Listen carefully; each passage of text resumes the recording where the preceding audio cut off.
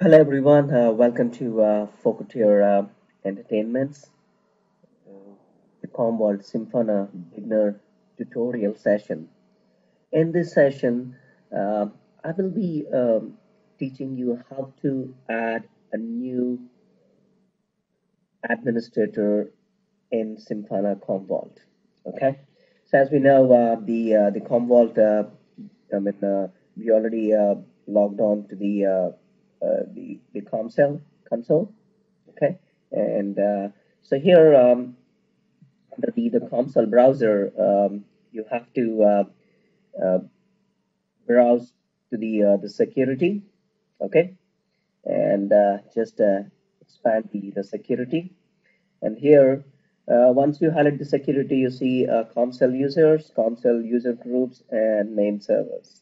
Okay, so in order to add a new console admin, okay, for any user in your uh, customer environment or in from your domain, so you have to just select console user. So the default one will be uh, the administrator here, okay, just like this.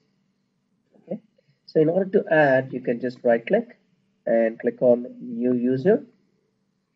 So it will uh, bring up a new pop-up saying that what is the username, the password, and the full name, and the description, and the email address, and uh, then also uh, uh, specify, uh, you know, whether the account should be enabled or disabled, and also you can also uh, configure the uh, the age password in number of days, okay, for security reasons, and he should be part of which group, okay, he should be part of the master master available group is nothing but the uh, the super admin kind of a thing where uh, the, the full administrator okay? So let's say so here what I'll do is I will create a, a test account test user. And uh, some generic password.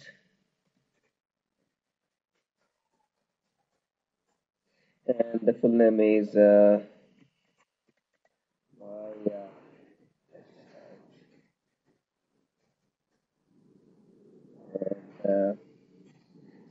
description uh, I will get uh, for my my uh, for uh, environment and the email I will give is test uh, user test.com and enable password in uh, 90 days okay? So uh, and uh, I'll go back here to the user groups. And uh, it should be part of uh, master. Okay and view all is nothing but the uh, the user can able to log on to the uh, CommCell console. However he cannot modify he cannot do any activity. He mean to say cannot perform any task.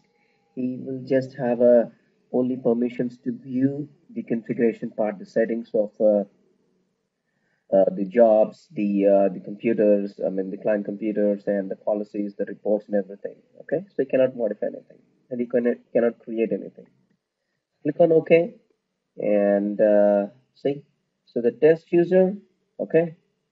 So um, is created now. I'll go back and click on properties. It will show um, see.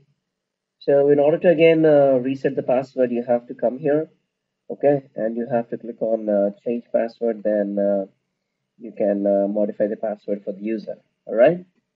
And you can also send an email. Once you create you can send a message saying that uh, hey user your account has been created. So that's reason why you, uh, they configured the email. All right. So this is for the this is how you will um, you know there's uh, add a new uh, CommCell uh, administrator uh, for the uh, Simpana Commvault. Okay, so it's still bringing up the, um, the test user conversation. So, so it's up. So uh, I think I can type here. I don't think it will it will uh, you know um, the message will be delivered to the test user because it's just a test account. Okay.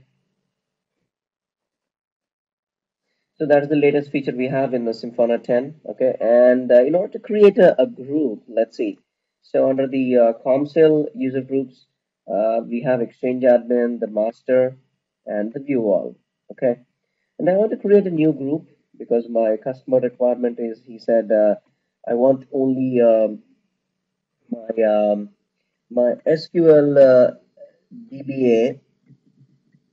Okay to access the SQL jobs. So I need a, uh, a user group like uh, for all the SQL, uh, SQL uh, MS SQL uh, database administrators. Okay, and they should be able to access only particular backup jobs, the all the uh, SQL Server backup jobs. Okay, so um, I'll mention as a SQL database admins See, all capabilities, I'm not selecting this. That means it will be a part of the the, uh, the super admin or the master group. Okay.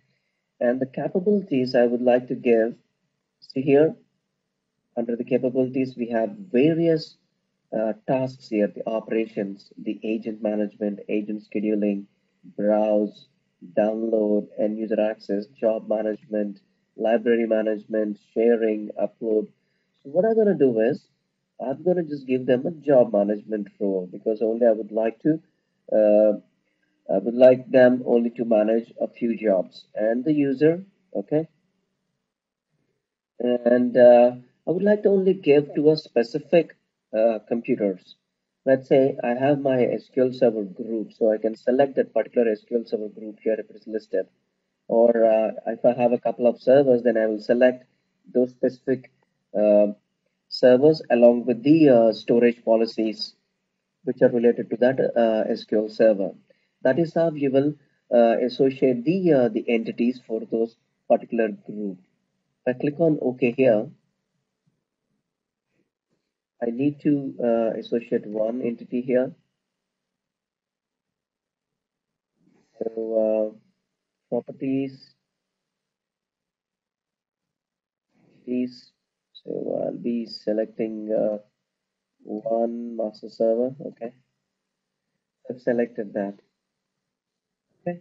So this is how you'll create a user groups.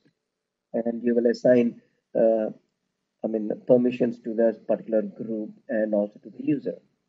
And if I go back here okay now I want to create a new user and I want to associate that user to the uh, SQL DBA so see now the SQL DBA is listed under the availability group. So you will select this one and you will uh, add the new user, your uh, SQL uh, DBA, okay, and password and everything. So you have to um, assign the group to that particular uh, user account. All right. So this is how you'll create a new uh, uh, admin and also you'll create a new user groups. So uh, if you have any technical queries regarding this uh, the security, you can um, and and uh, and for the CommCell uh, admin uh, session, please use the comment section. So uh, stay tuned for more updates. Stay tuned for more videos on uh, Commvault tutorials. And thank you for watching and have a nice day.